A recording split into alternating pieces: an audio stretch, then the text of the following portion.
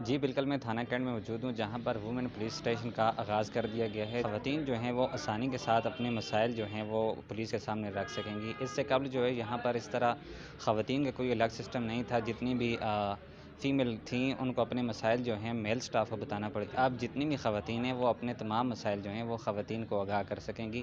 یہاں پر جتنا بھی عملہ ہے، وہ خواتین کا تعینات کر دیا گیا ہے۔ اس کا افتتاح ڈی آئی جی ہزارہ اور ڈی پی او ابتباد نے یہاں پر آ کر کیا۔ سلسلے میں اگر آپ نے دیکھا ہو تو آئی جی پنجاب نے پچھلے دنوں کچھ خواتین آفیسرز کو ڈی پی او بھی لگایا۔ ہمارے آئی جی صاحب نے ایک خاتون آفیسر جو ہیں، ان کو پہلے تو اے جی جینڈر لگایا تھا، اب انویسٹیگیشن کا چارج بھی دیا ہے۔ سو یہ اسی سلسلے کی کڑی ہے کہ جب یہ ساری کوششیں ہو رہی تھی تو سجاد خان کے ساتھ میں نے اسی پہ بات کی اور ہم نے سوچا کہ کیوں نہ ہم بھی اس ویمن پولیس اسٹیشن کو دوبارہ سے فعال بنائیں۔ اور جو ہمارے ایبٹآباد کی خواتین ہیں، ان کے لیے ہم یہ فیسلٹی دوبارہ سے ایک طرح اس کو، جیسے کہتے ہیں اس میں دوبارہ سے زندگی ڈال دیں۔